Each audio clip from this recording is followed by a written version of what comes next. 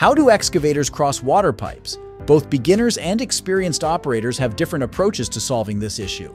Let's see how a beginner handles it. They choose to raise the excavator tracks, move halfway, use the bulldozer to lift the remaining half, lift the main arm, and lower the front. This allows the excavator to cross halfway. Then they lift the main arm again, turn around, use the elbow for side support in reverse. While effective for small excavators, this method doesn't work for larger ones without bulldozers. Now let's look at how an experienced operator does it. The veteran drives the excavator to the front of the water pipe and turns right. They press the main arm to lift one side of the track and then rotate to the right, causing the lifted track to flip over. They then continue rotating to flip the other track.